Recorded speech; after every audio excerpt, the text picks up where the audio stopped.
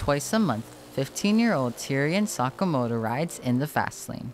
I started drag racing because I would watch other people race down the track and I thought it was fun. And a few years ago, I was able to try this sport and I fell in love with it. The sport of drag racing is where two vehicles race in a competition of speed in a straight line. Because of Tyrion's dedication to drag racing, her two younger siblings, Ryan and Riance, were inspired to race.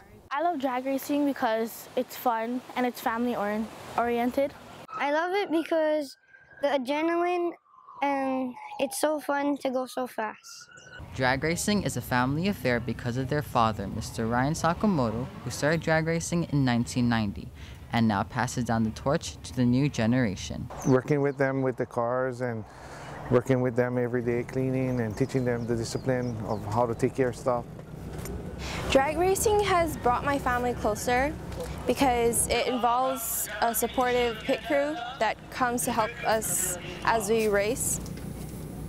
We created a, a a bond um, because it was something that they were interested in. The Sakamotos compete at Kauai Raceway Park on the west side in Mana. Junior dragsters who range in age from 5 to 17 race one eighth of a mile. They say drag racing is fun, but it's also very dangerous, traveling at an average speed of 85 miles per hour. Well, drag racing, you need a lot of safety equipment. So you have a helmet, a neck brace, a fire suit, and race shoes. So when you race, the only thing, the only skin that you can see are your eyes.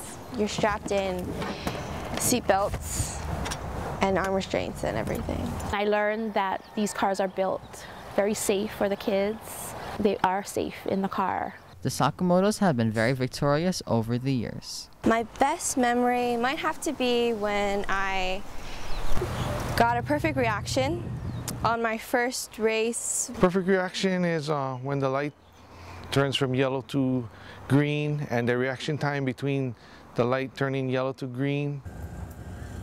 The family bond that the Sakamotos have takes their love for drag racing far. This is Colton Guzman from Chiefess Kamakahelei Middle School for HIKI NŌ. If you enjoyed this video, please remember to give it a thumbs up. Click the subscribe button and the little bell icon to get notified immediately of new and exclusive HIKI NŌ content.